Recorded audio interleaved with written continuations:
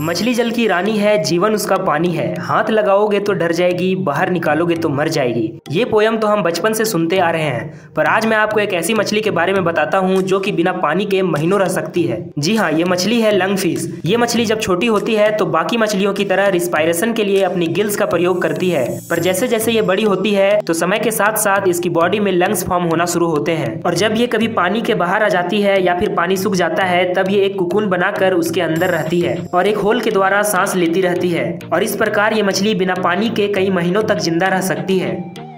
How do you tickle a fish?